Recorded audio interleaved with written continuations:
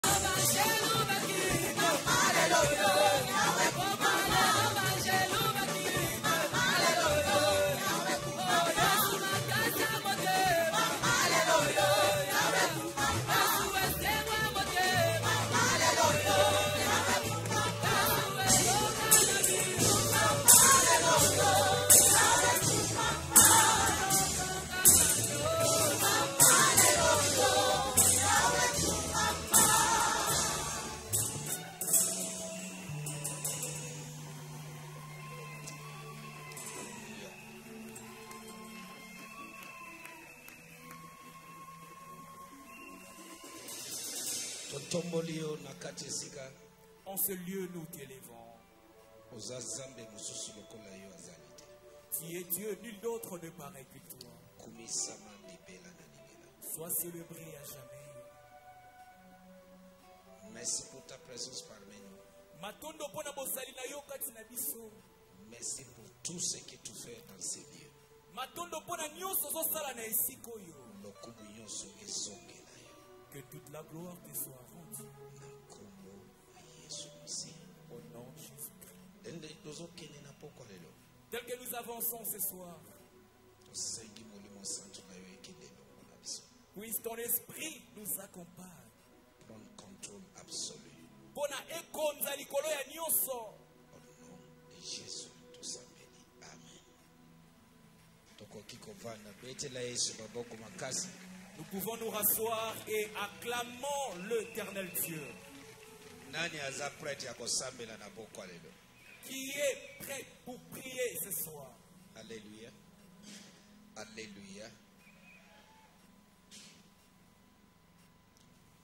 Bitumba ya vie na yo eza ya yo te eza ya Zambe. Les défis de ta vie ne t'engagent pas, mais ce sont les défis de Dieu. Soki opesi Zambe place na ye na vie na yo. Bitumba na yo nyonso ekozala ya yo lisusu te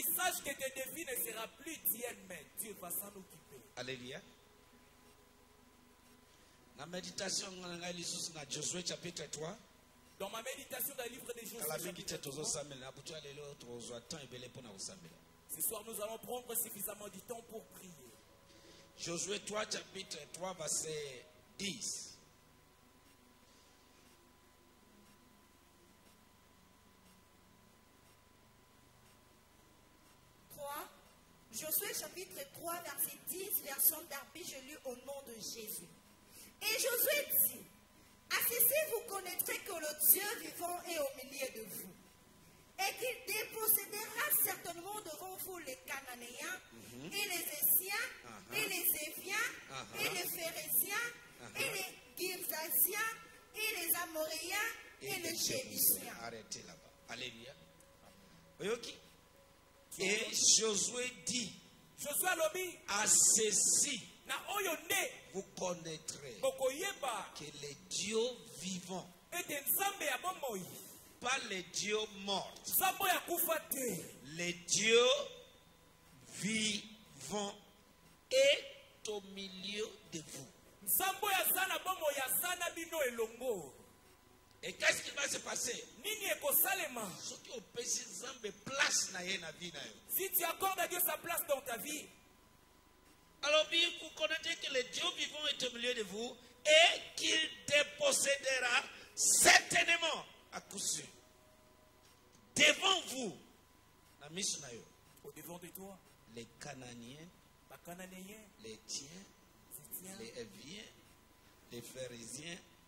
et les Gigasiens, et les Amoriens, et les Jébusiens. Mais, et le le Alobi, à ceci vous connaîtrez que le Dieu vivant est au milieu de vous. bisika zambe azui place na là où Dieu prend sa place bitumba na yo tes défis ekomi bitumba na ye est-ce que moko akoganga amen ya nzoto mne deviendront les défis de Dieu olio ezala yo nde okomanda kobunda ye nde azobundela mpo na yo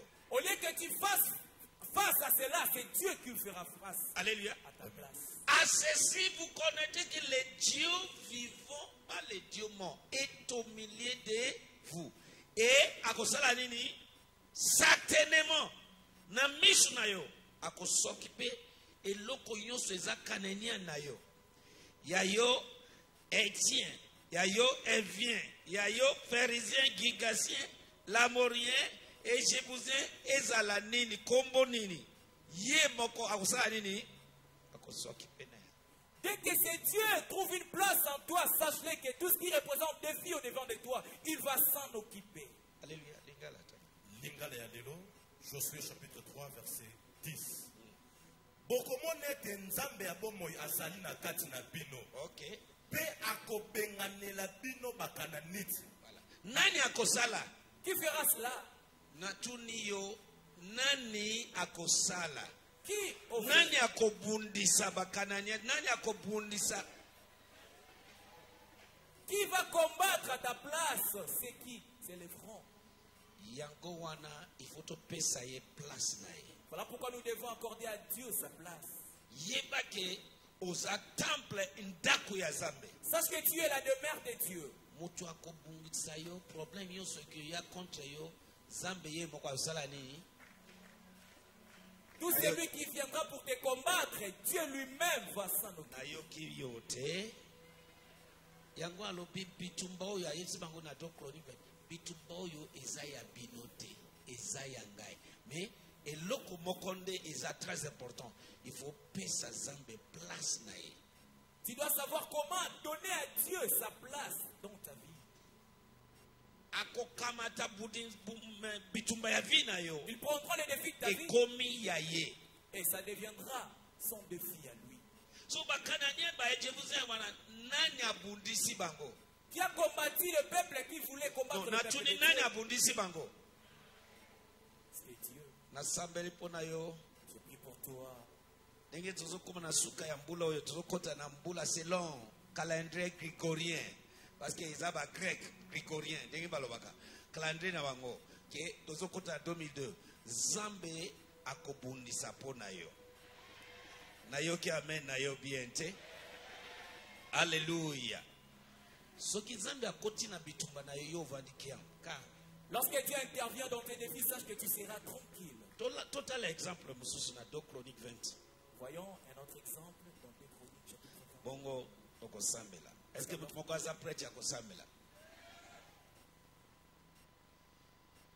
Na monde kuna bango mpe azobongama. Sachez que de l'autre côté, eux aussi se préparent. soki oza mayele oza sensible na parole prophétique ezobima na chair oyo si tu as visé et sensible par rapport aux paroles prophétiques qui sortent sur cette chair alléluia nalobi eloko tozokota na nouvelle saison nous entrions en nouvelle saison saison nyonso te olingaka nani ayoki na alobaki yango bato mosusu balingi saison ya mbula bato mosusu balingi saison ya mbula te bato mosusu balingi saison ya eh, elanga eh, bamosusu balingi te mais n'importe quelle saison okokota peu importe la saison que tu vas entrer Zambi alobi eh, Dieu te dit. Ngai nde mokeli ya ba saison nyonso. C'est moi qui ai créé toutes ces saisons. Ngai nde na pasolaka nzela na ebale. C'est moi qui ferai le chemin dans la mer. Yo zala kaka mutu ya Zambe. Toi, donne-toi à Dieu. N'importe quelle saison. Peu importe la saison. Zambe akokatisa yo tina ngamu kuna. Dieu te fera traverser jusqu'au l'autre. Parce que 2022 est un grand frère à 2000.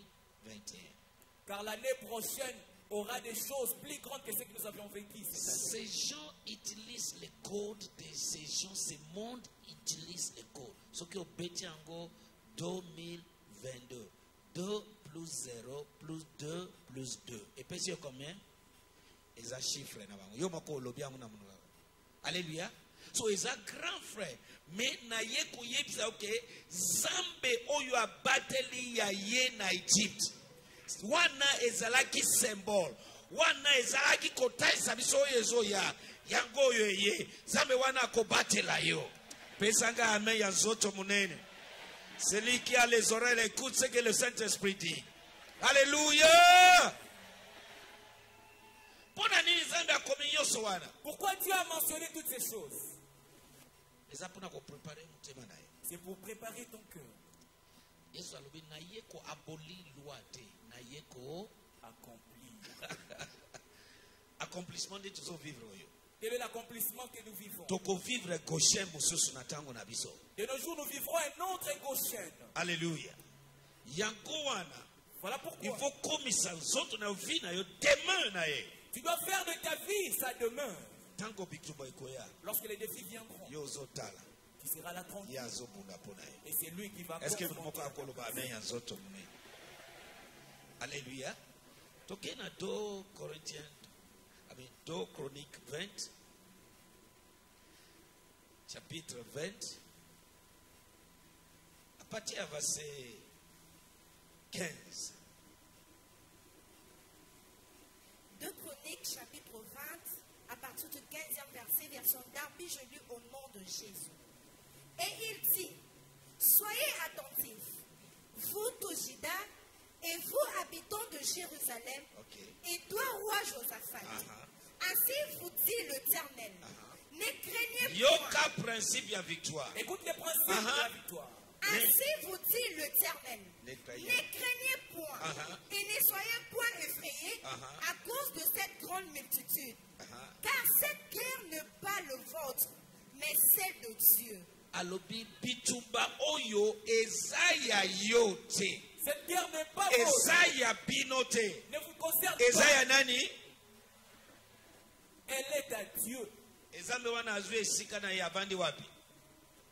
soki nzambe aza elongo na yo si dieu est avec toi et ozopesa ye place na ye et tu lui donnes sa place dans ta vie bitumba ya vie na yo le défi de ta vie ekomi ya ye deviendront ses défis alléluia continuons ma fille verset 16 demain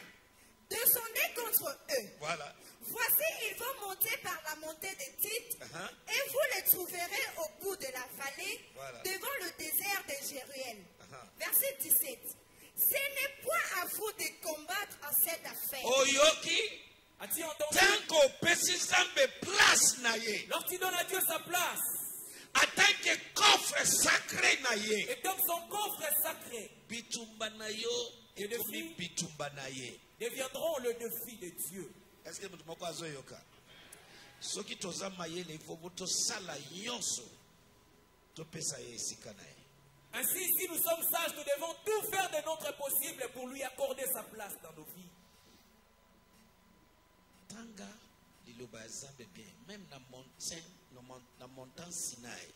Tango baye na Moïse bana Israël, Zambe ayebisi bango mutu moko te aya pene pene asimba montant. Amen.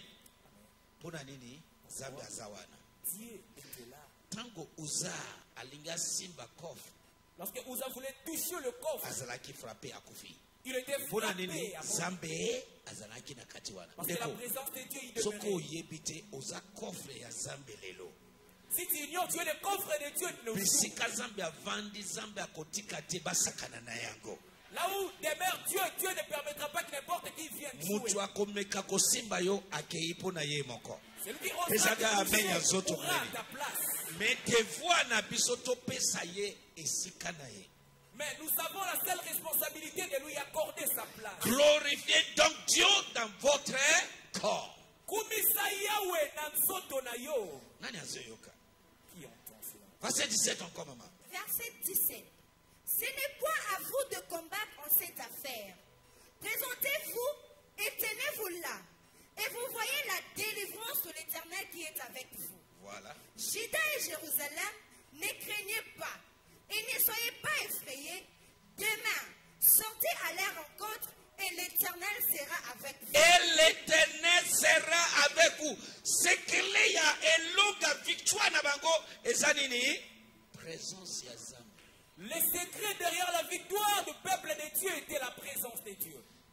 Est-ce que yo kolonga zambe? Peux-tu vaincre Dieu? Non, nalobi est-ce que kolonga zambe? Est-ce que tu as la capacité de vaincre Dieu? Soki tozongeli na 1 Samuel tango bazui coffre sacré ba Philistin ba botoli bana Israël ba kei nango. Eloko nini ekomeli bango? Des calamités na bakala mite kobanda na bana mike tina ba mikolo bazalaki bango nyonso comment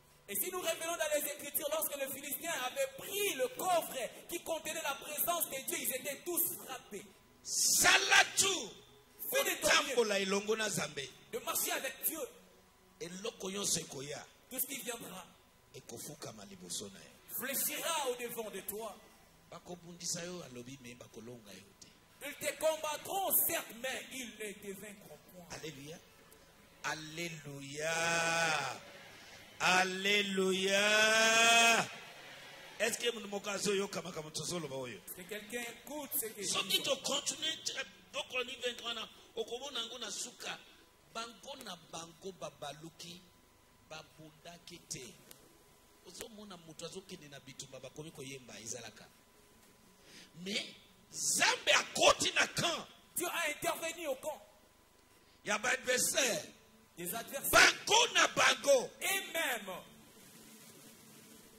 bamiboma ils se sont entretués alléluia Pourquoi cela L'Éternel est au milieu. Oui, et Yahweh azalaki elongo na libota na ye. Est-ce que ondimi que oza porteur ya molimo ya Zambe na kati na ye? La question est celle-ci. Est-ce que ce soir tu crois que tu es le porteur ou la porteuse de la présence de Dieu? Si tu es né de nouveau et baptisé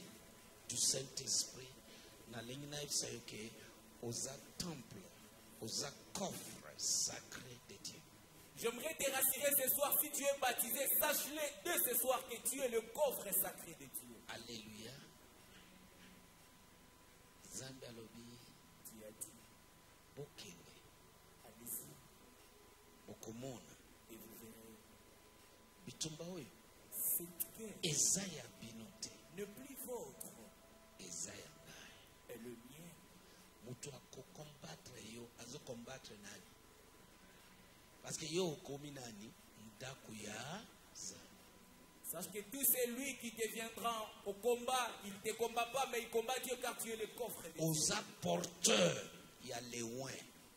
Parce que oza porto ya lewen yo moko okomi lewen okomi wen po ete yo nde oza komema esantu to nzambe esantu yo mpe okomi mosantu ezambe alobi ne touche pas à mes wen nzambe alobi kosimba mopakolami na ngai te alleluya basimbaka te On n'ose pas toucher. soki olingi nzambe abundisa mpo na yo bitumba ya vie na yo Si tu veux que Dieu intervienne concernant ta sala vie, tu kogarde présence fais de ton mieux pour garder sa présence. est ce que nazoteya moto Est-ce que ce soir je prêche quelqu'un baenemi na yo bakolemba parce que nyonso bazoswaite ekomela yo bakomona ke ezosimba te Tes ennemis vont fatiguer car tout ce qui est ezosimba te cela ne marchera pas.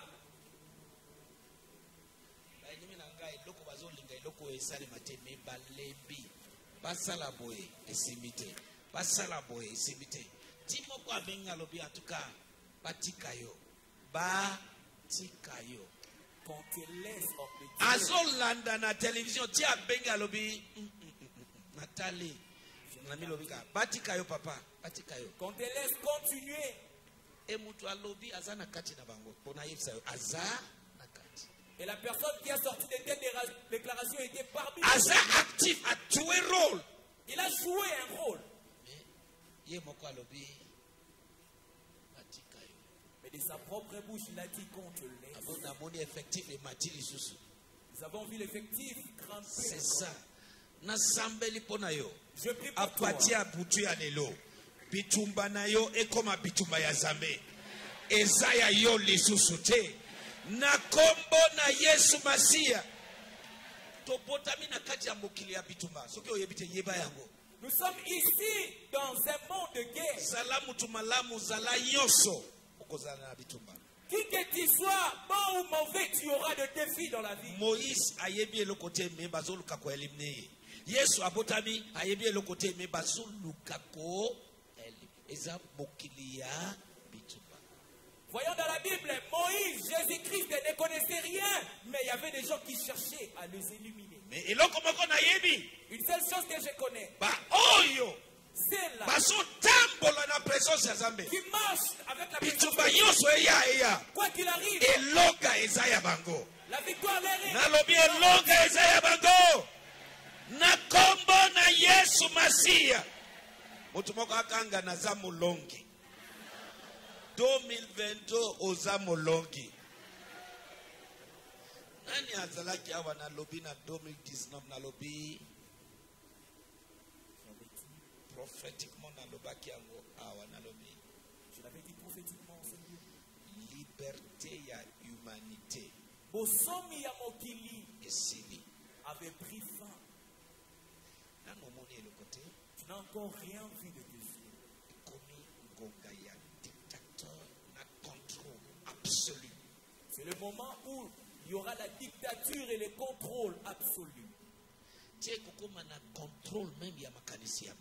Jusqu'au point où ils vont même contrôler la pensée humaine. Je disais, il y a des choses qui n'est pas permettre la loba. Je disais que makambo esalu epesa belinga nzela te na loba. Mais ngonga ezo ya bato bakokoma robot. À un moment donné, les hommes deviendront semblables aux robots. Alléluia. L'ennemi Satan azolinga ko changer créature ya Zambe, ko modeler yango, ko komisa yango denge ye alingi. L'ennemi veut changer la créature de Dieu jusqu'à devenir selon son image. Mutu akoma lié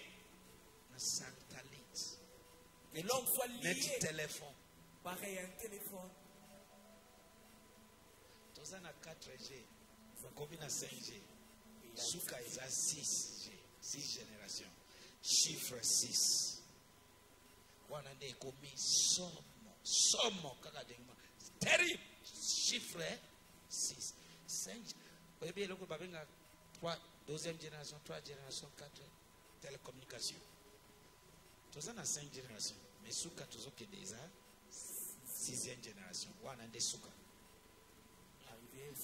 osali boye porte efungwami osali boye motuka na yo efungwami porte ya ndako efungwami nyonso kaka boye Tu dépendras juste de ton empreinte. Yo, lobby, avancement technologie. mais nazoyebisa yo ke eza avancement demonologie eza nde mbaki ndoki ezokende mosika corps étranger nzoto moko ya bopayi ezokota nzoto ya bato dans le corps humain eloko esalami na jardin d'eden c'est ce qui se fait réalité nde ozomona sikoyo c'est ce que nous voyons maintenant yango alobi ceux qui vont persévérer jusqu'à la fin Dati nalobi baye bakokoba bakoyika mpiko ti na suka. Sela. Bawana nde bakobika. Aleluya.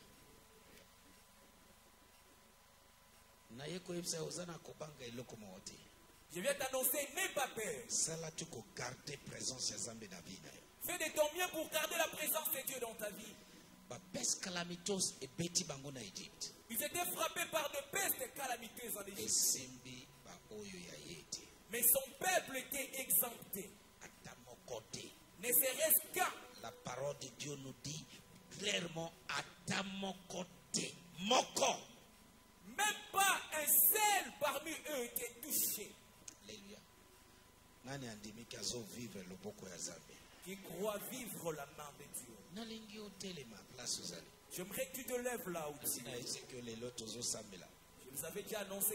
Alléluia. nalingi otombola maboko na yo j'aimerais que tu élèves tes mains yamba esprit de supplication et de prière yamba molimo ya losambo molimo ya supplication na prière que l'esprit de la supplication et la prière est reposé likolo na yo se repose sur toi alléluia alobi il a dit botelema bomona Levez-vous et voyez. Oyo Zambe akosala. Ce que Dieu fera. Alobi bitumba oyo. Il a dit que cette guerre. Eza ya bino te. Ne plus votre. Eza ya Zambe. Appartient à l'Éternel. Alléluia.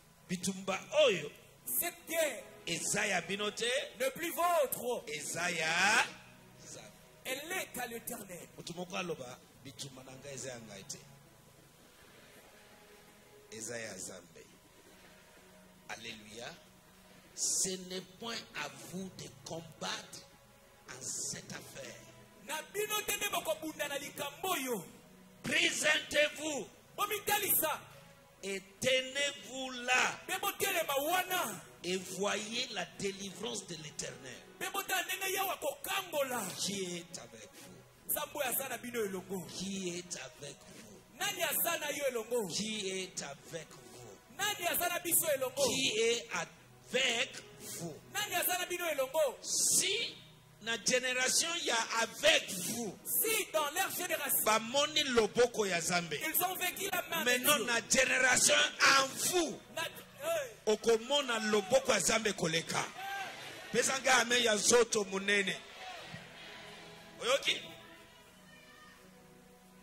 voyez la délivrance de l'éternel qui est avec vous mais soki generation ya avec vous bamoni loboko ya zambe bongo generation ya en vous et avec vous nyonso mibale combine na deklare elonga eza partage na yo la victoire t'appartient na kombo na yesu masiya devoir na yo ton devoir garde la présence de Dieu avec toi et en toi.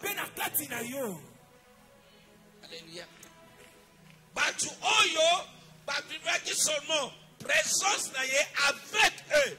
Salama kamamoni. Mais lelo biso, pas seulement avec nous, mais à nous. Christ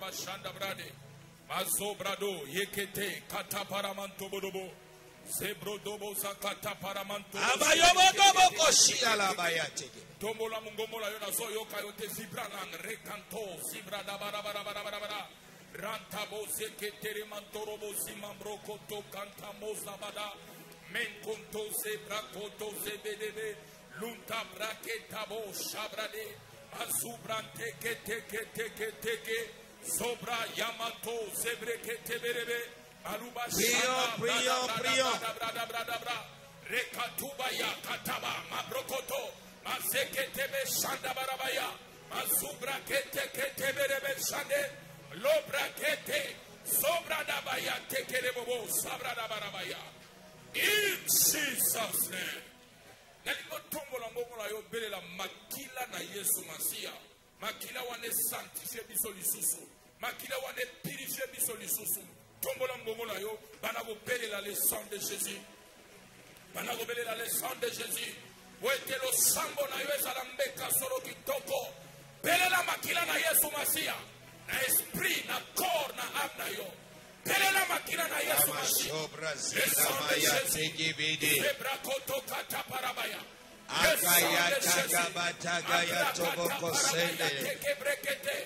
Le sang de Jésus, le sang de Jésus, le sang de Jésus. Me brokoto koto sakata paragaya. Makila na Yesu Masia. Na peleli le sang de Jésus. Dans mon esprit, dans mon corps, dans mon âme. Makila na Yesu. Et purifier ngai. Makila na Yesu. Et sanctifier ngai.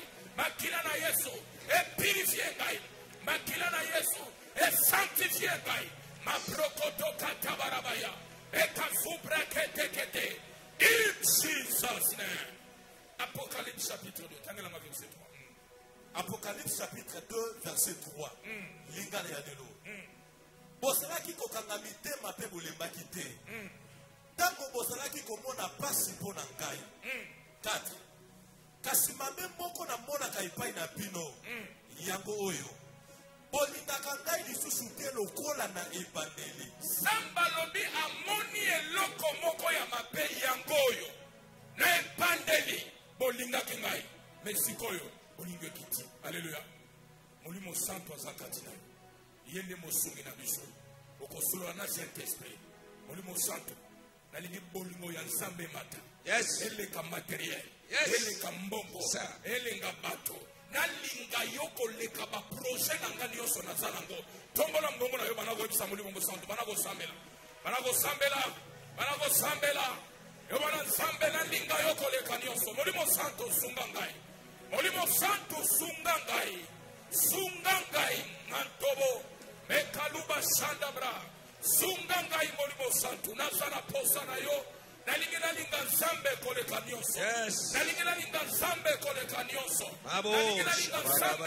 koleka baproje na ngai nalinga nzambe koleka nyonso nzambe azala na premier plan na bomoi na ngai na ndako na ngai nzambe azala na premier plan molimo na nzambe sunga ngai sunga ngai cher saint esprit de dieu sunga ngai na pokwa lelo sunga ngai na 2022 sunga ngai na 2022 nalinga nzambe koleka nyonso nalinga nzambe koleka nyonso nzambe azala na premier plan nzambe azala na place ya liboso na motema na ngai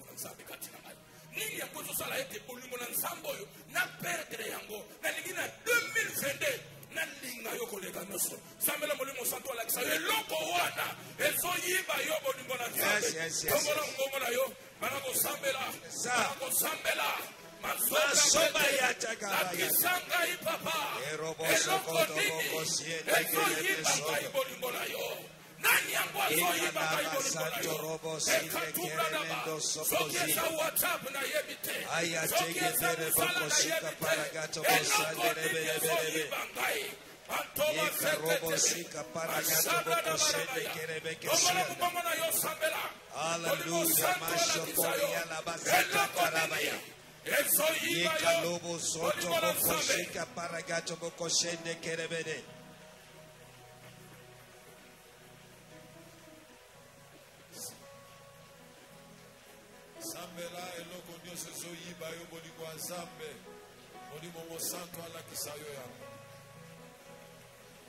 molimo mosanto alakisa yo yango mando zebralama shakabaralaba loba na saint esprit na kisanga ekozala peut-être bacamarade ekozala peut-être relation songolo ekozala peut-être caractère na yo ekozala peut-être bolingo ya mbongo ekozala peut-être lisumu moko osalaka ezokimisa bolingo wana aloba saint esprit révèle moi cela révele ngai yango na nkombo na yesu ebro zebratanado sado Abralama.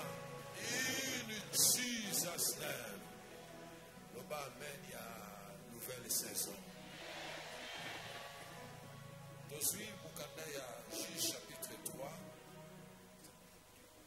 Totangi verset 12 linga na kozwa na na verset suka. Sana msende mkesi. les enfants d'Israël firent encore ce qui te plaît à l'Éternel. Et l'Éternel fortifia Eglon, roi de Moab, contre Israël parce qu'ils avaient fait ce qui te plaît à l'Éternel. Papa a ébisi son secret, a coffre sacré, les enfants. à Kumisa.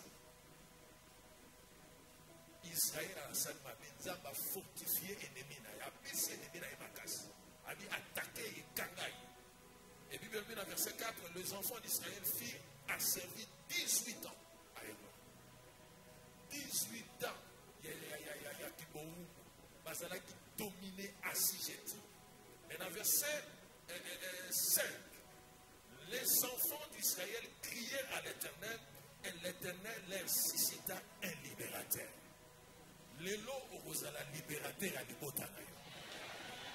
Ah, nayoki amen na yo te. Lelo okozala libérateur ya église na yo. Lelo okozala libérateur ya mboka na yo. Lelo okozala libérateur ya génération na yo.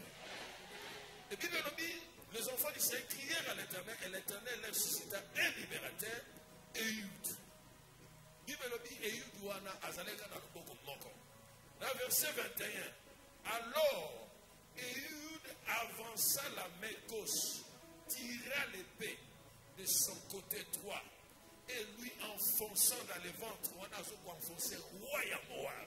Et Bible dit, le poignet même entra après la lame et la graisse se referma autour de la lame, car il ne retira pas du ventre le peu qui sortit par derrière. Quand la mission verset 21, dans verset 22, Lingala. Lingala ya lelo. Eut akamataki mbeli oyo atiaki na likolo na ye ya mobali. Asimbi yango na liboko ya mwasi mpe akotisi yango na libumu ya mokonzi.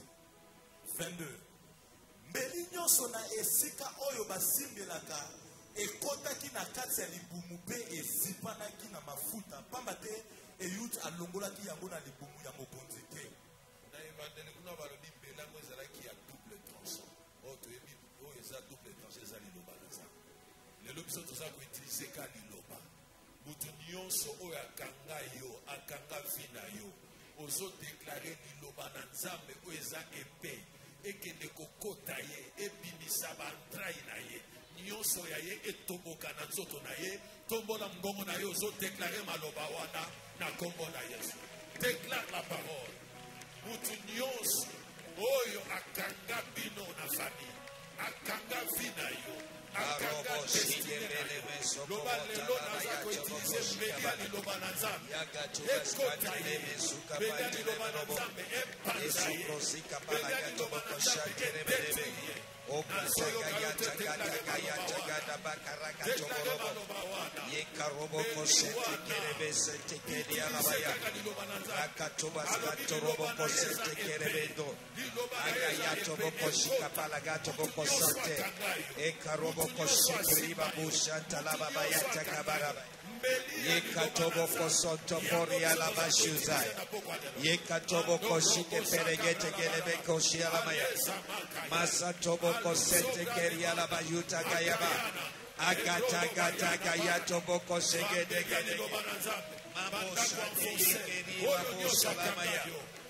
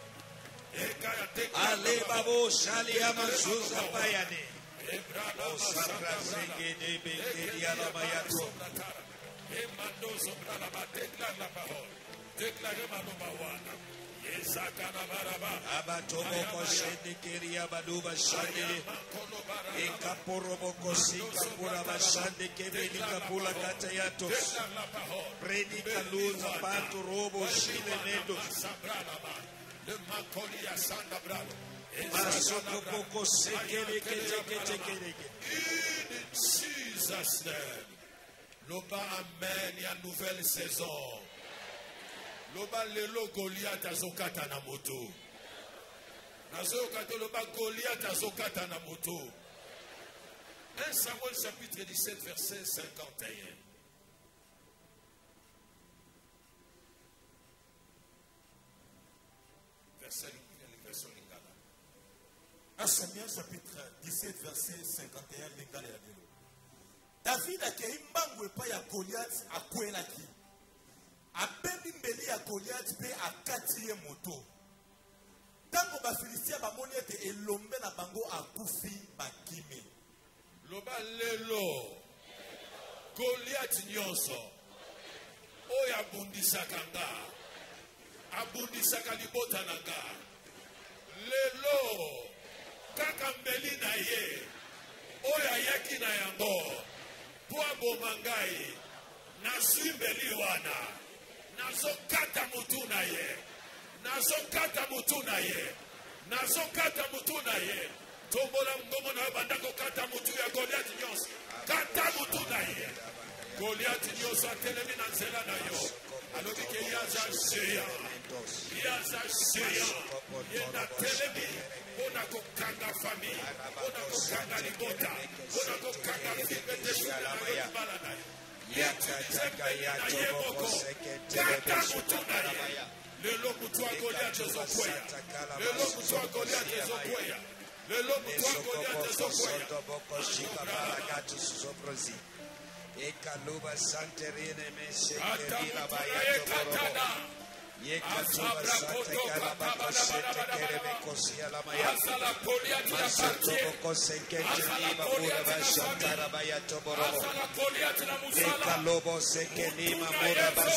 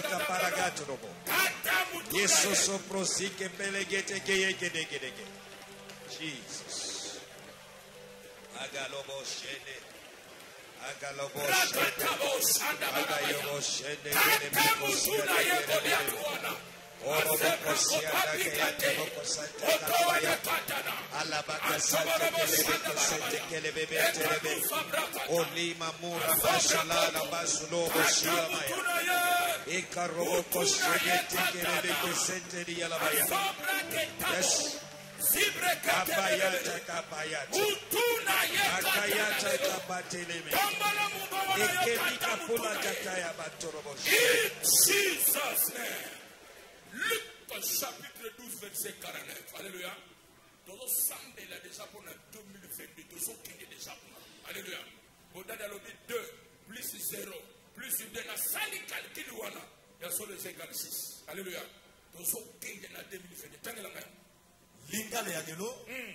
luc chapitre 12 hmm. verset 49 nayaki awa na mokili mpo natya moto na kati ya bato nani alobi yango yesu masiya alobi na ye na mokili mpo natya moto na kati ya bato Alléluia. Yoka tozo kende na 2022 soki Yesu aya cha moto. Ngalo pe toke na 2022 tozo cha moto. Programme ya Satana contre yo. Moto wane devorant. Tongo na momo na yo bana ko sambela na tongo na Yesu. Tia moto na janvier. Tia moto na février. Tia moto na mars. Tia moto na avril.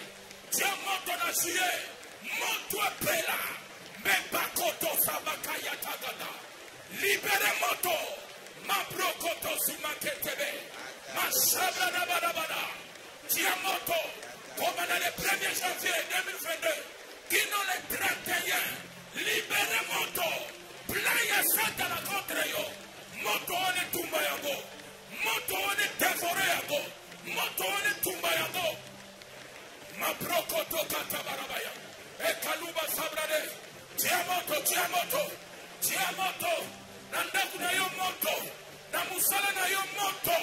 Na ekoli ya bana na yo moto. Tia moto. Mabosiketete. Masabrakatabarabaya. Alobi na ye kotia moto. Yo mpe tia moto. Na ndako na yo moto.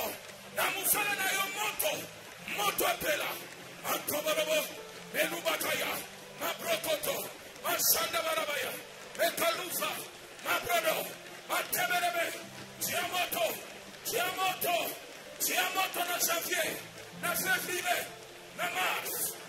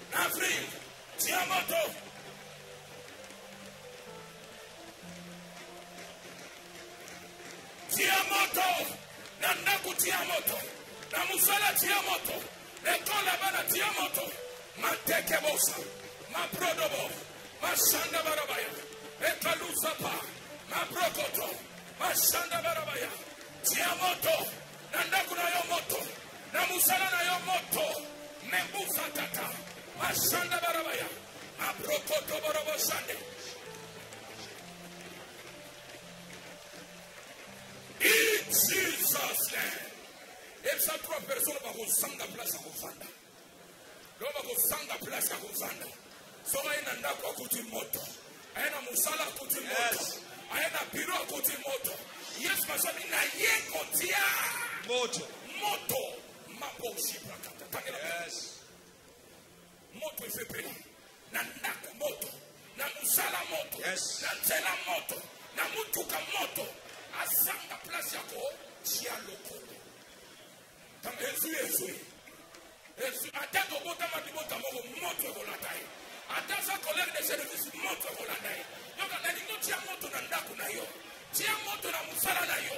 Mona biro na yo tia moto. Mona ndako na yo tia moto. Tomona mbongo na balako tia moto. Tia moto, tia moto. Maboshika tabra dabra dabra. Antobora bara bara bara bara. Tia moto. Moto epela. Yesu aye kotia moto. Yo kokanda pamba te. Yo mpe kotia moto. Mambuketebe. Mansabra kata.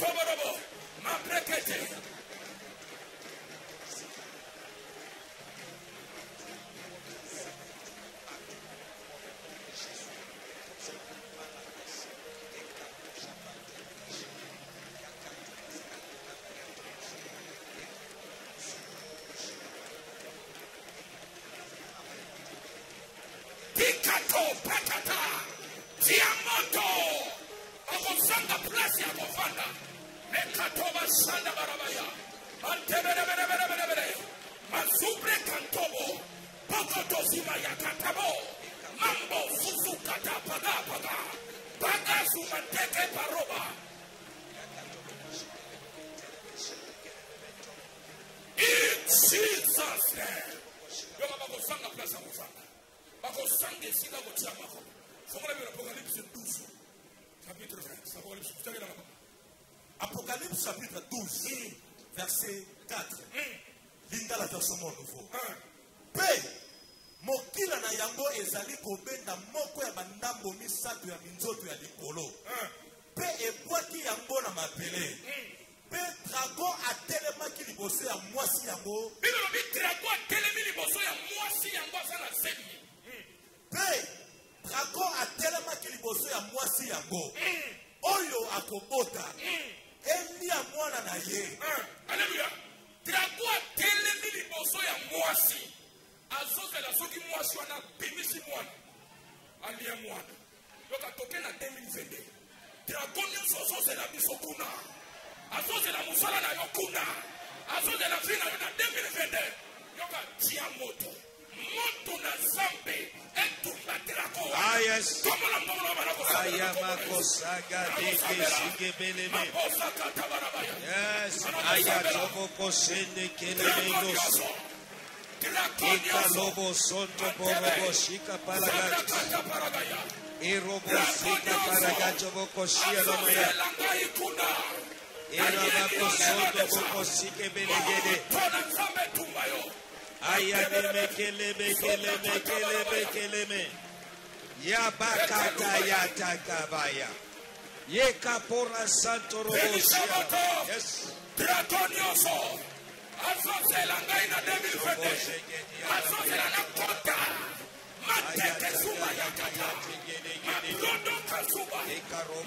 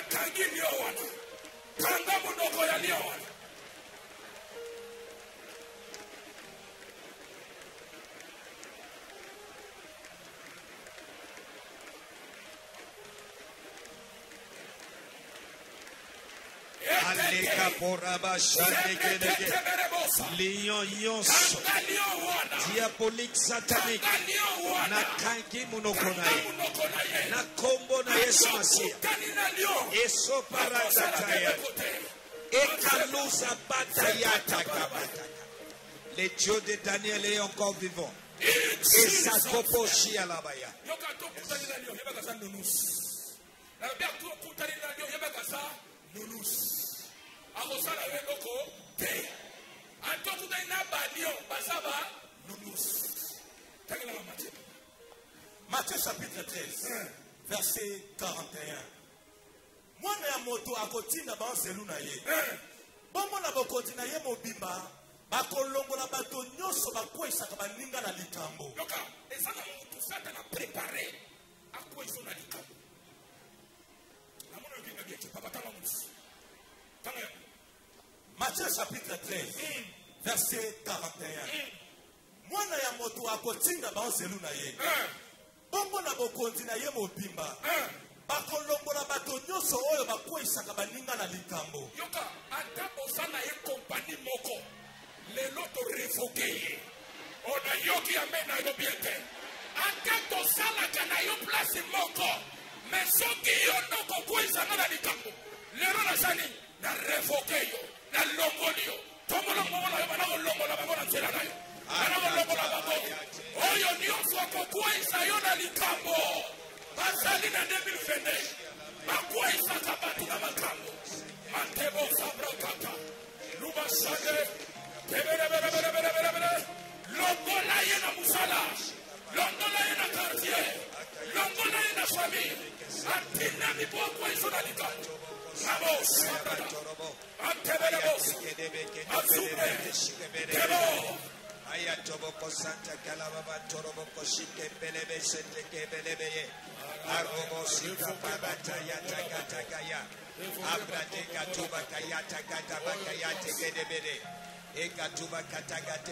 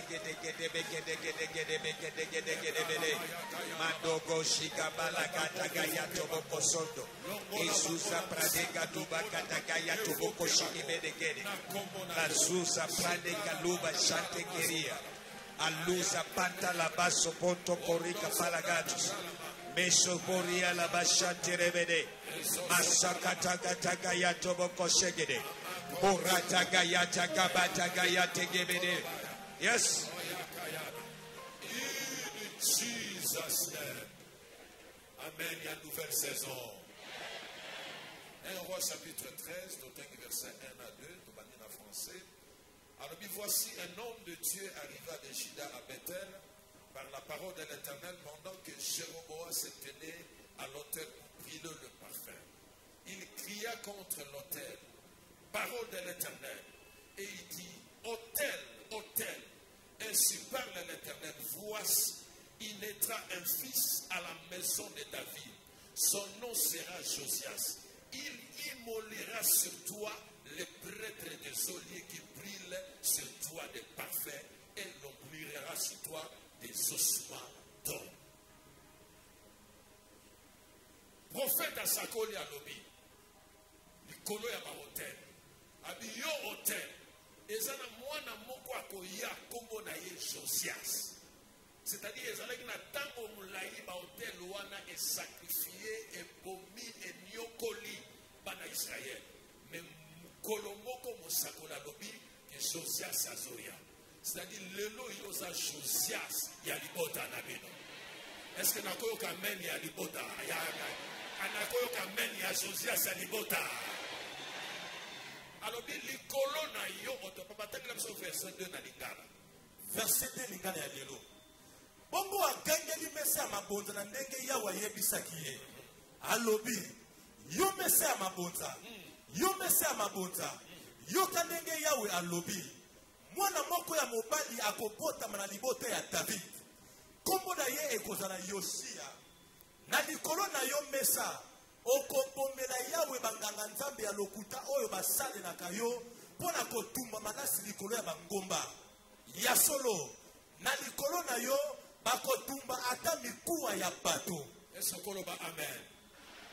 ozosambela hotel nyonso baprepare na suka mbula oyo mpo na yo mpe mpo na fami na yo ozoloba nzambe lelo hotel wana bango moko bakolo hotel nazozwa bango nazotia bango likolo ya hotel loba lelo nazoyoka yo te loba yango bien loba lelo hotel nyonso baprepare mpo na nga mpo na fami na nga nazwi hotel wana nakangi kolo hotel nakangi gere ya hotel wana nazwi ye natie ye likolo ya hotel na ye lelo nazotumba ye envoye envoye envoye banda kotumba bango likolo ba hotel na bango oyo nyonso aprepare hotel mpo na yo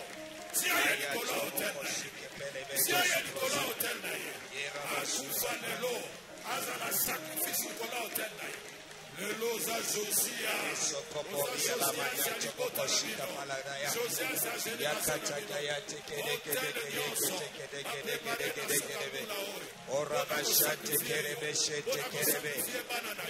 mwasi bana na yo libala na yo mosala hotel wana etumba ezikisa bango moko bango moko bazala bambeka likolo ya bahotel nazoyoka yo te teklare la parole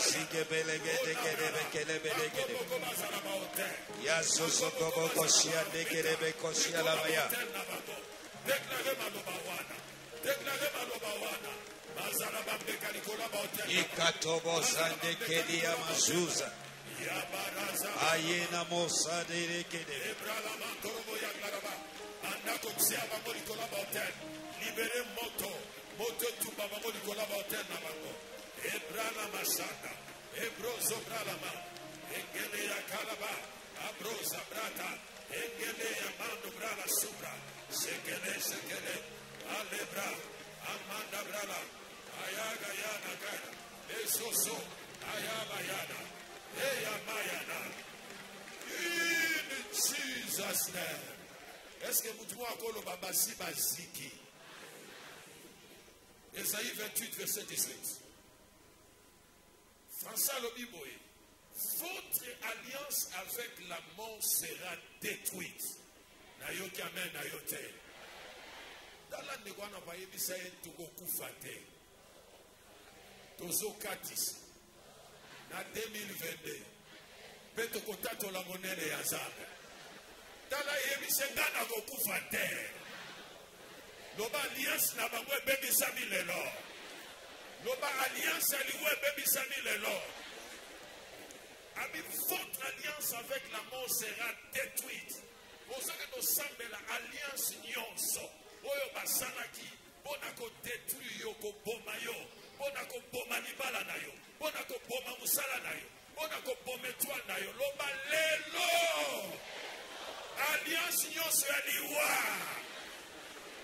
oyo basali likolo na nga mpo na koboma nga ndako na nga mosala na nga etwale na nga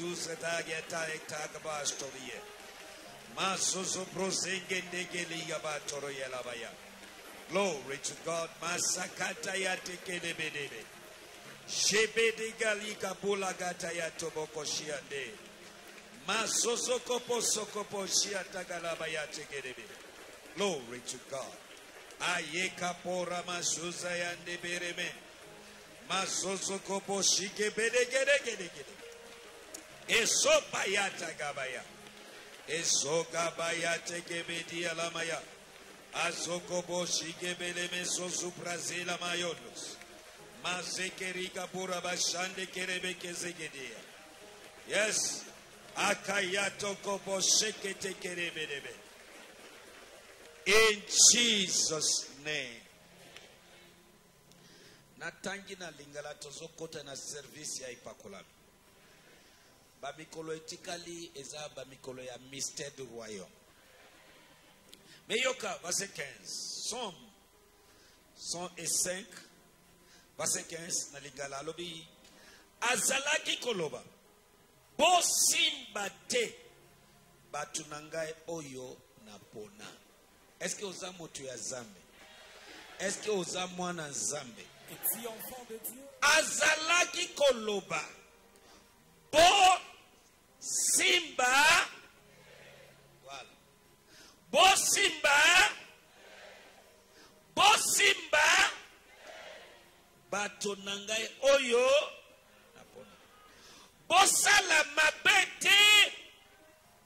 na ba prophète na ngai bosimba te moto moko aganga kosimba te na 2020 moto akosimba yo asimbi nzambe e basimbaka nzambe te basimbaka coffre sacré ya zambe te on ne peut pas toucher les coffres sacrés uze ameki kosimba uza ose toucher mais ekomeli ye Il était frappé. Même ndenge tozokende na suka oyo. Même tel que nous tendons vers la fin de l'année. Ya 2021. De 2021. Oza mutu bakoki kosimba yo te. Tu es une personne qu'on ne peut pas toucher. Ozoloba ko tous les jours ekomami na tina ngai.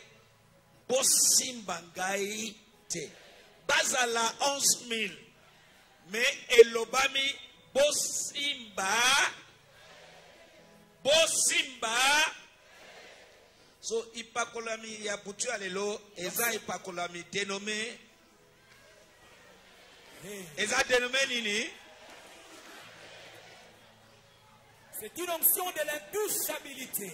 eza epakolami ya ko bosimba te n'osez pas toucher alléluia papa totangi lingala version mon nouveau merci juste verset 15 bosimba te bato na ngai oyo batiami mafuta oyoki bosimba te bato na ngai oyo Ne touchez pas Écoute. le roi. Yoka. Écoute. Yoka.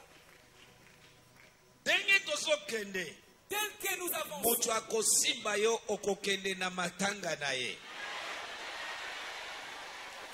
Est-ce que oyoki? E bayoki ndenge tozoloba boye. Moto akosimba yo okokende na matanga na ye. Okei kosala ye au revoir. Naza moto basimbaka ye te. Basimbaka ngai te. Naza ya Zambe. Naza na epakolami. Bosimba! Bosimba!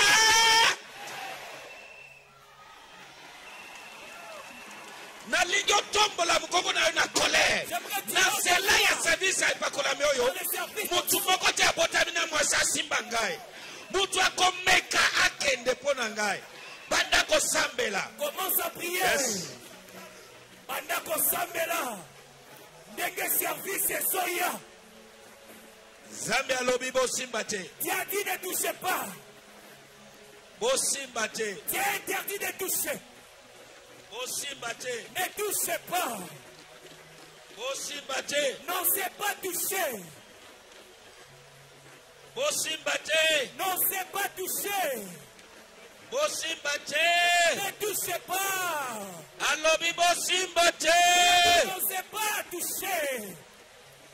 Bosimba te. Ne portez pas la main dessus.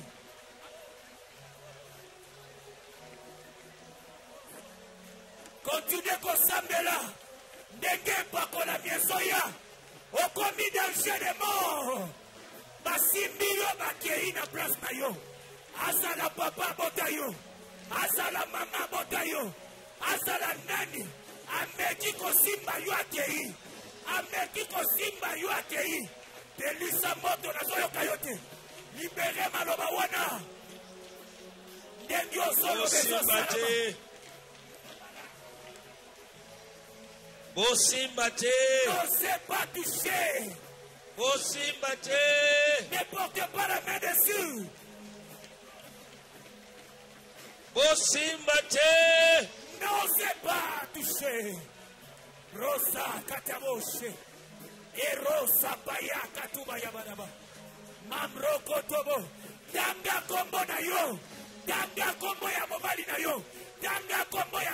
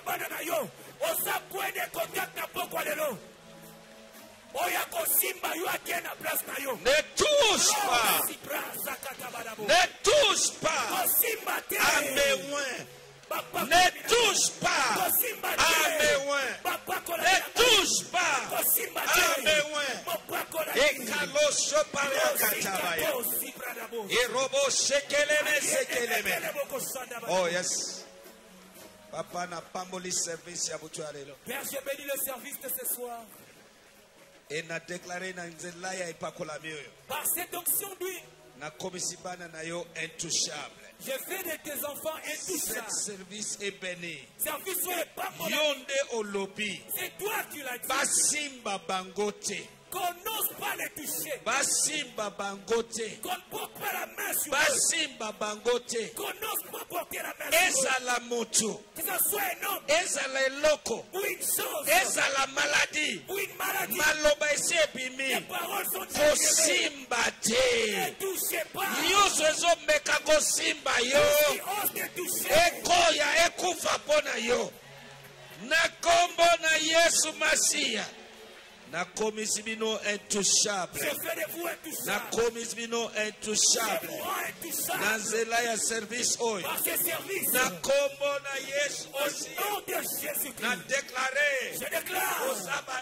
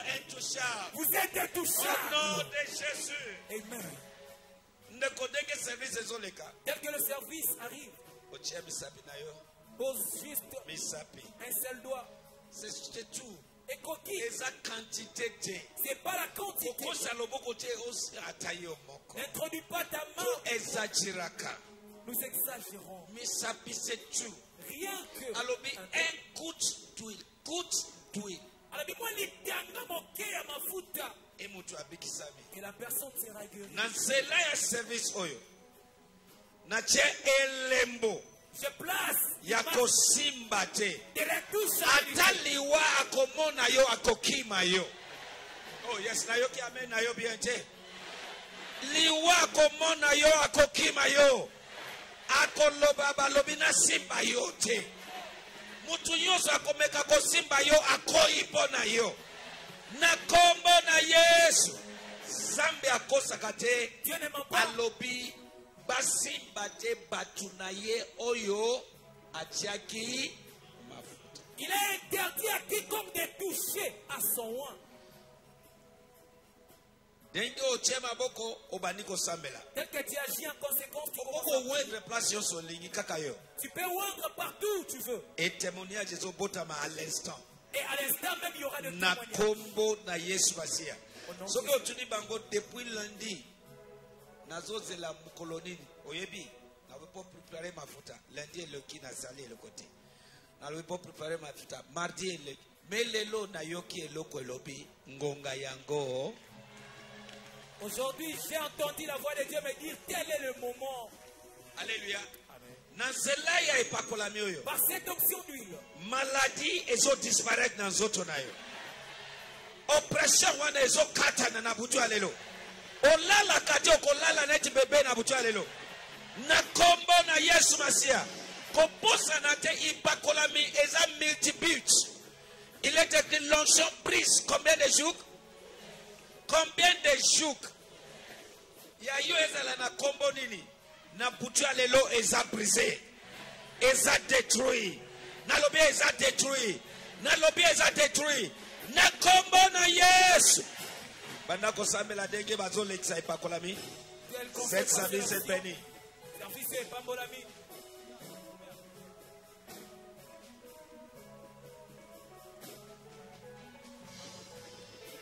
Yes. ndenge oza komiwani pelisa moto okanga monoko na yo te banda kosambela banda kosambela yes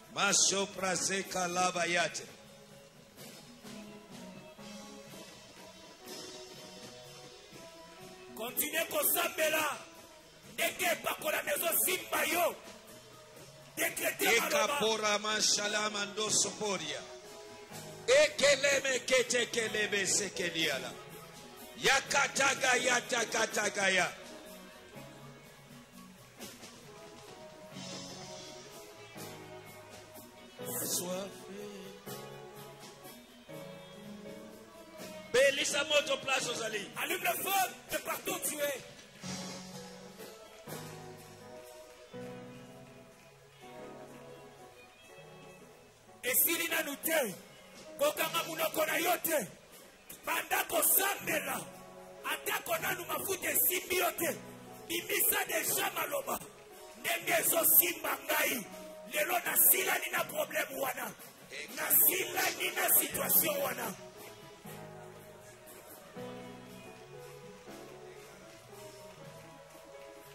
ata ya yo eza euti mosika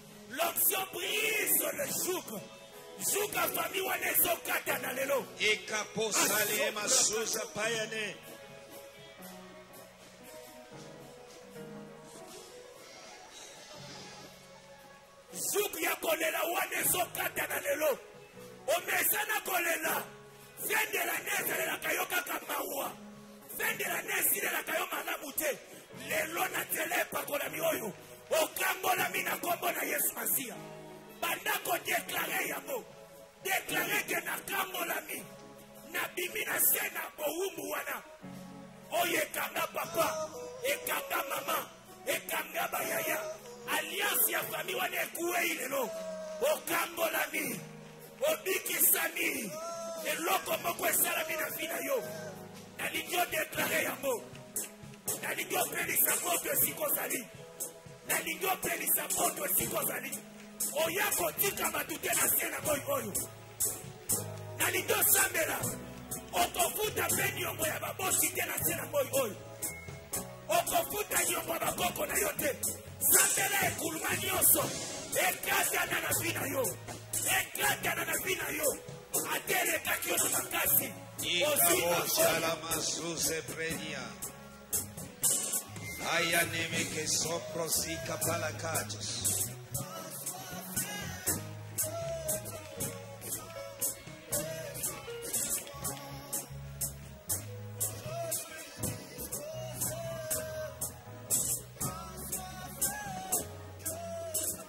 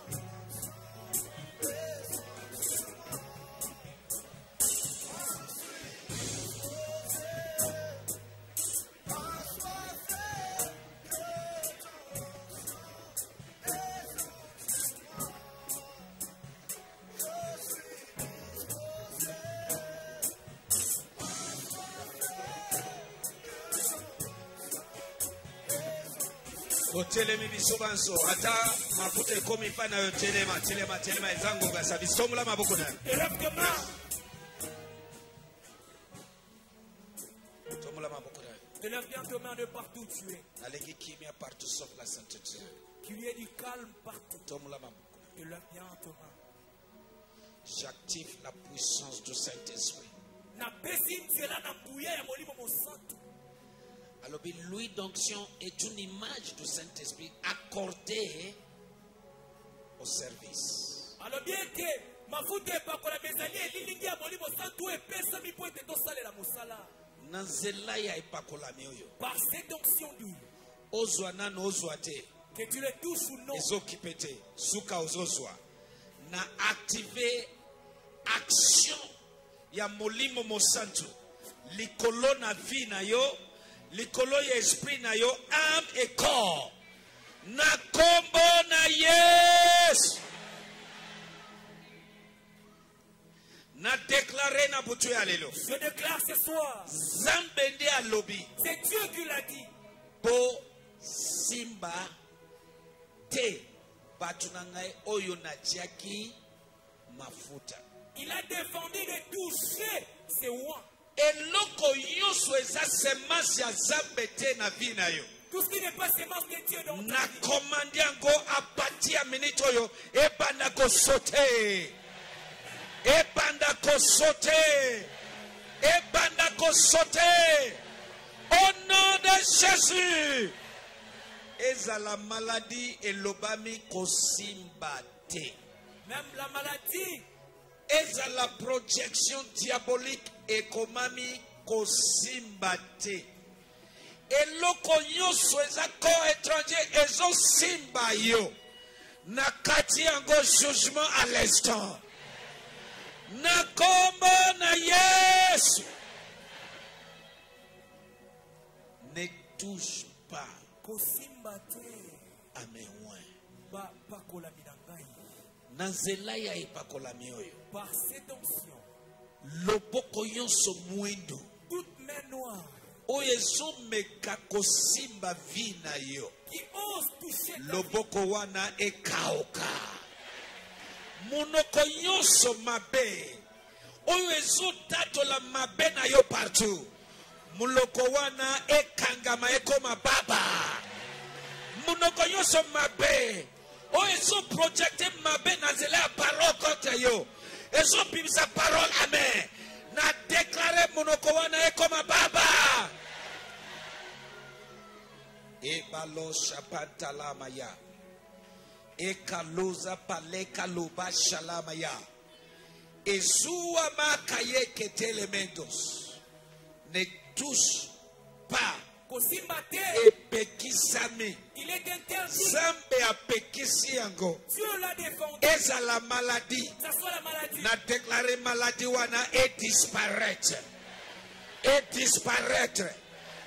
epekisami kosimba nzoto na yo epekisami kosimba destine na yo ne touche pas à mes oins na butu ya lelo eloko nyonso ewuti libanda elingi osimba yo na kati yango jugement ya liwa nalobi jugement ya liwa nalobi jugement ya liba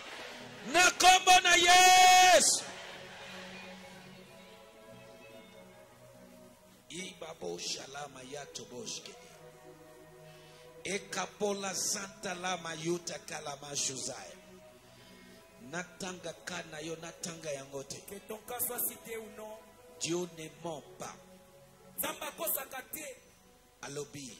Il a dit. L'onction d'huile. Et pas mafuta. Brise tous les jours. Et kataka monyololo nyoso. Ya yo ezala kombo nini. Peu importe le nom de ton joug. Ezana kati ya joug. Ça se retrouve dans le joug. L'onction brise combien de jours? Yoso etelemi contre yo, contre ta vie, contre vie na yo. sante finance mosala libala projet na yo na deklare na minute oyo eza détruit au nom de jésus azala mutu nalobi aza détruit au nom de jésus mutu akotelema ataki ennemi ya destine na yo azala détruit à l'instant ipakolami oyo efrape ye bisika azali Na kombo na Yesu. Mutu aye na vie na yo po a cache destine na yo. Natindi frappe ya Molimo Mosantu. Na zela ya epakolami yo azala frappe. Azala frappe. Azala frappe. Makambo na ye ezala frappe à mort. Kosimba te. Ne touchez pas. Batu na ngai oyo na tie mafuta. Mais personne want. na nzela ya epakolami oyo ezala na moi ezala na butu nakomisi bino intouchable nalobi okomi intouchable nalobi okomi intouchable nalobi okomi intouchable au nom de jésus na ngonga oyo moto nyonso asi atye nkombo na yo na liste na bango tout celui qui est inscrit ton nom dans leur liste comme sacrifice lokola mbeka na balusi je na butu ya lelo nalobi na balusi je na bango nyonso baprojecte contre yo ezongela bango moko emela bango moko e detruire bango moko eboma bango moko na kombo na yesu masiya tombola maboko na yo ne soyez pas distrait ipakola misi eleki parole mpe esi ebimi et les paroles sont sorties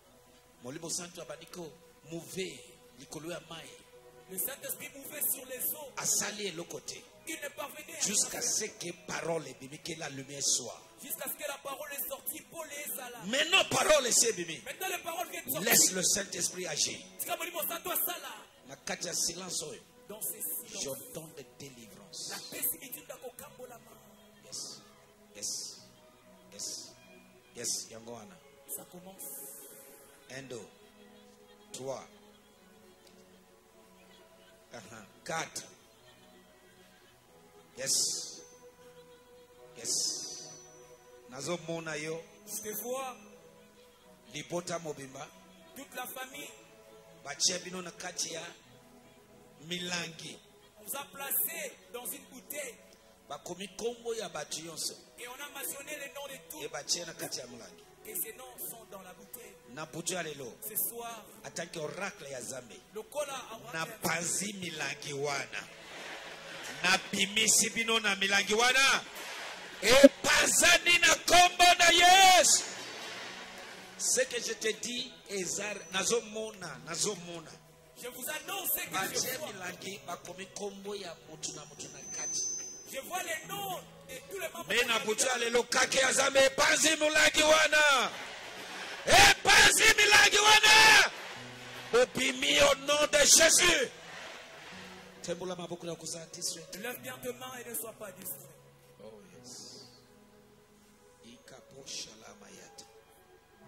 natanga kayana na yo natanga yango te que je cite ton cas ou non eloko nyonso ekangi yo tout ce qui te lie moto azobima te que personne ne sortait moto azo évoluer te personne n'évoluait eloko wana cette chose là eza détruit na butu ya lelo nalobi eza detruit na butu ya lelo na kombo na yesu masiya na kombo na yesu masiya nazomona je suis en train de voir suki le cheveu bazui ils l'ont pris mais ozomiyeba te à ton insu yo okei kosala suki tu es allé soki wapi soki na salon de coiffure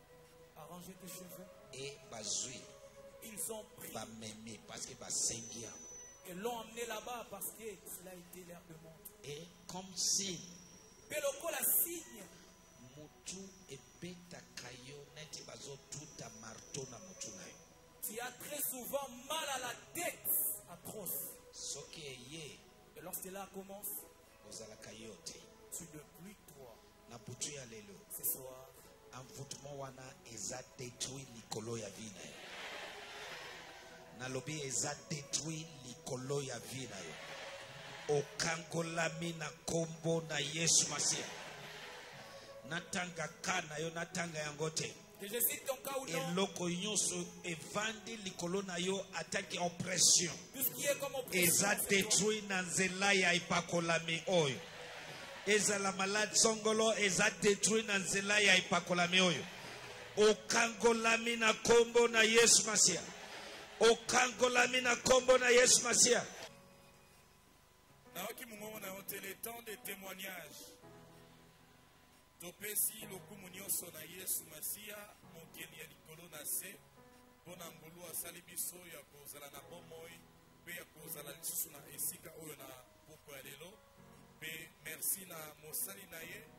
papa dayo samuel mpo na opportunité epesameli biso ya koleka kosala service oyo eske motu moko akobetela yesu masiya maboko makasi tolobaki kobetela yesu masiya maboko makasi oza awa oza conscient oza consciente ke yesu masiya asimbi yo yesu masiya abikisi yo leka liboso bandeko bazali dispose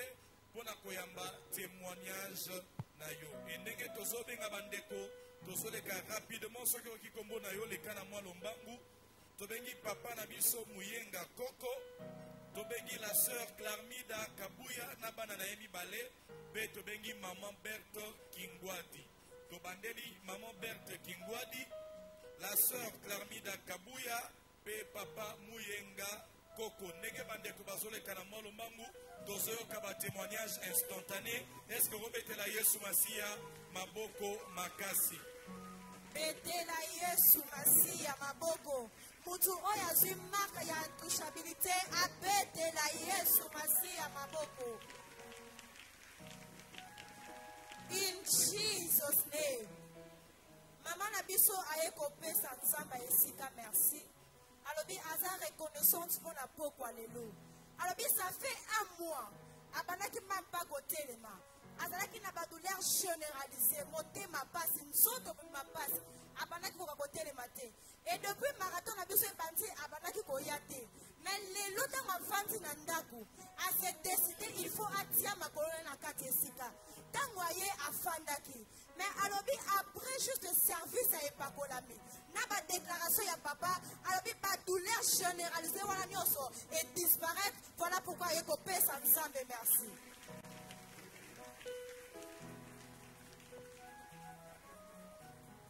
betela yesu masiya maboko makasi continue kobetela yesu masiya maboko makasi ndeko na biso aye kopesa nzambe merci mpo alobi alobi prière na ye eyokisami epai ya nzambe alobi ntango sipelaki esika afandaka alobi motu bafandaka na ye asambelaka na eglize mosusu alingaka te ndeko aya na eglize oyo me lobi prière na ye ezalaki ete ntango akoya na marathon de prière ntango akozonga ndako nzambe akanga monoko ya ndeko wana mpo atika kotungisa ye mpe prière na ye nzambe ayokaki yango lobi ntango azongi na ndako tati wana ndenge amesana kogangela ye ndeko wana ndenge amesana koloba lobi alobi eloko te yango wana aye kopambola monene na nzambe betela yesu masiya maboko makasi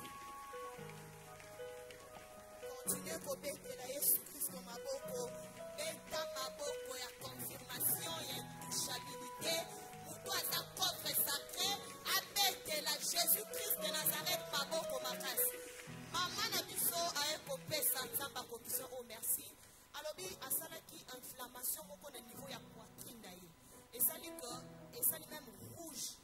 kotala ngo bokomona ke rouge en plus esali globe na intérieur na yango mais kaka ntango service epakolami ezoleka mama na biso asali service na niveau ya sana ye alobi na minute globe wana edisparaitre inflammation esili fièvre wende mosuni yango aye kopesa nzambe merci betela yesu kristo maboko makasi maboko wana soki eza ya yesu tobeta mpenza yesu ndenge azobikisa yesu nde azokangola yesu nde apesi bomoi eske motu moko akobetela yesu milolo aleluya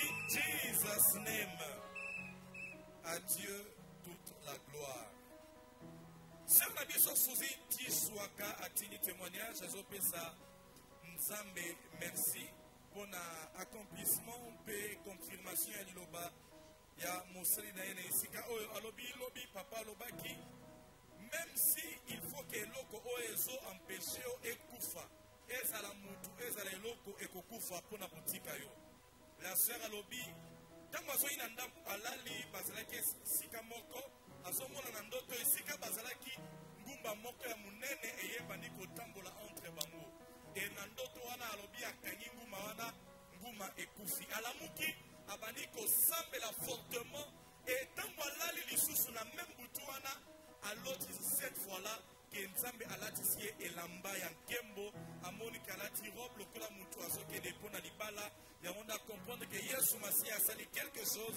atindi témoignage est ce que okobetela yesu wana maboko makasi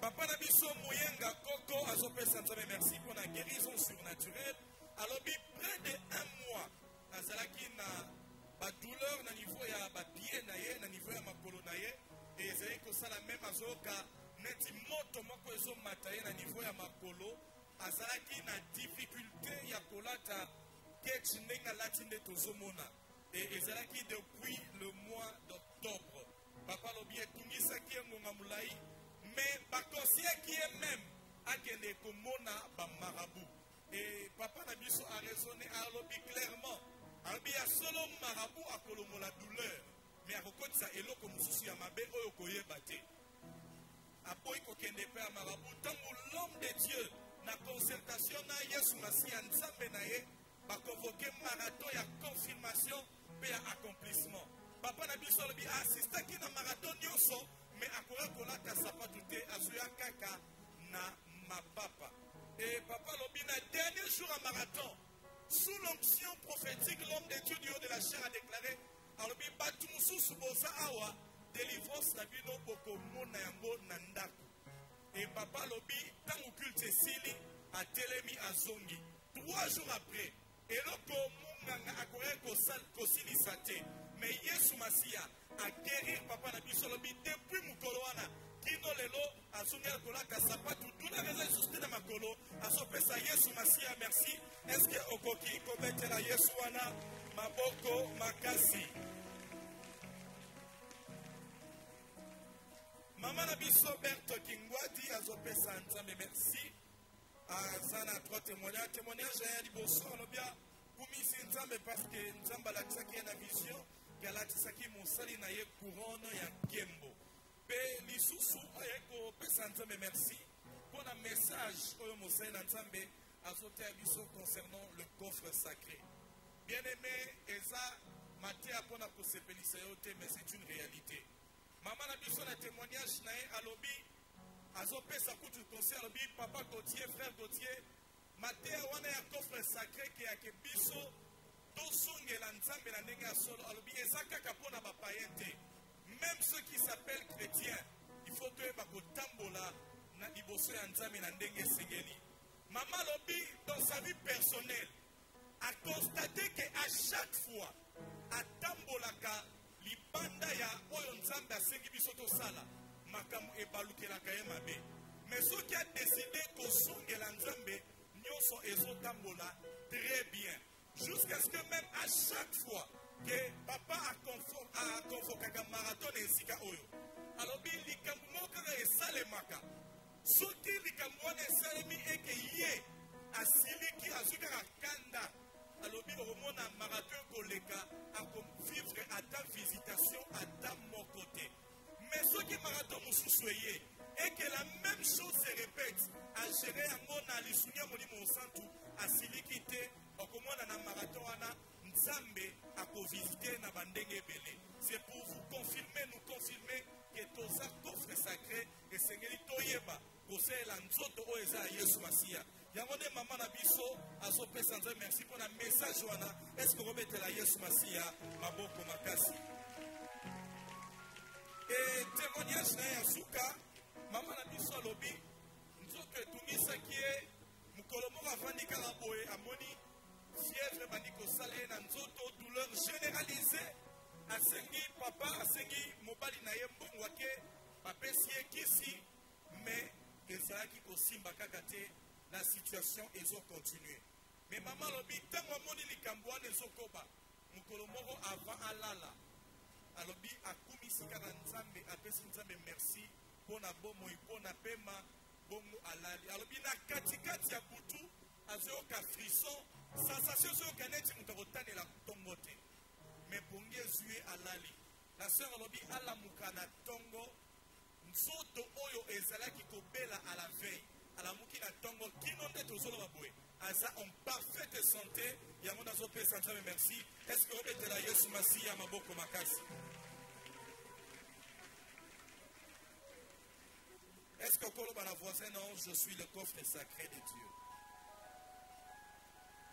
bien aimé ce qui est sacré bapesaka yango n'importe quel traitement te ezalaka mpe na traitement moko sacré mama na biso clarmida azopesa nzambe merci mpo na bomo ya bana na ye mibale mpo na guérison surnaturelle alobi bana na ye mibale bakutanaki na bamaladi te na nkombo na yesu e basecheroshaki balandanaki ebalaki na la grande sœur fièvre esali ye malade etungisi ye akei epai ya monganga na hôpital akendaka comme d'habitude bapesi kisi et quelques temps après malade esili mwana azongi bien et quelques cinq jours après la même situation et se répéter epai ya la cadette mama mpe asali ndenge amesana kosala ake na hôpital bapesi traitement baprescrire bakisi kisi mama apesi kisi depuis abandaki kopesa kisi situation ezochange te C'est alors que le Saint-Esprit a rappelé les mystères du royaume au ayekoli na esika oyo. Est-ce que vous mettez la Yesu Masiya maboko makasi? Bien aimé, na zemi sa o vérité. Toyena papa na nzela, papa lobaki eloko te. Tozui pe ba témoignages, papa annoncaki eloko te. Mais tango service ekomi, na yo ko comprendre que à chaque fois que papa asalaka service, nzambe atindaka témoignage liye na service wana mpo na koconfirme eloko oyo ozozwa na pokwa lelo mama na biso alobi ntango amoni ke situation ezochange te azwi une donction abandi kosala ba très forte déclaration conformément na oyo mosali na nzambe alobaka na esika oyo mama alobi abandi kodeklare papa alobaka mafuta na kati ya kikalungu ekalingaka nyonso kasi kaka yango nde etikalaka e ndenge mpe nazo aplike mwana huile d'onction eloko nyonso ezotungisa mwana ezokende kaka onction ya saint esprit nde ekotikala mama olobi aaplike mwana huile d'onction balali après avoir koaplike huile d'onction la fièvre ezalaki toujours balali na katikati ya butu aloti azomona moko basali na nzambe na esika oyo avandi pembeni na ye azoyebisi ye me mwana na yo deja abiki kende kopesa témoignage effectivement la sœur alobi ntango alamuki ye aussi asimba mwana boye mwana oyo ye moko azali kokoka lisusu komema te à cause ya chaleur ya fièvre alobi ye moko ebandaki koderange ye mais après avoir koappliquer huile d'onction mwana aza complètement rétabli yango nde la sœur azopesa nzambe merci eh! ya maboko ah, maboko wana ezokonvaincre nga te naza na raison ya koloba na yo obetela yesu maboko parce que la série continue bamisusu délivrance mpe kozalama meme na se ya pongi alleluya notre sœur tellement émotionnée aye kopesa nzambe merci alobi ça fait deux semaines alali alamuki atutani te eloko te mais amoni gonflement moko kobanda na genou na ye ti na niveau ya kingo e evimbisaki ye kingo mobimba alobi na pokwa lelo ayaki na douleur wana me ntango service ya epakolami eleki alobi mosusu amelaki me ayoki mposa kosanza abi ake na dushe abandi kosanza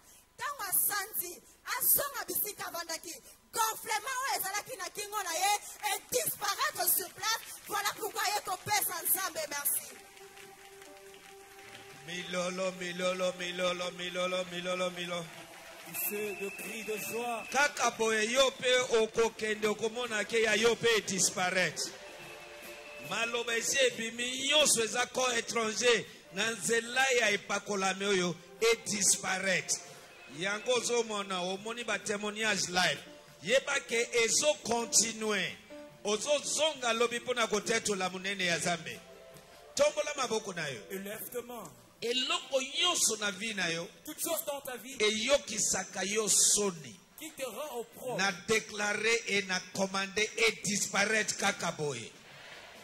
Elimwa kaka boye. Na kombo na Yesu Masiya. Denge apparaître kaka denge wana pe et disparaître. Au nom de Jésus-Christ de Nazareth.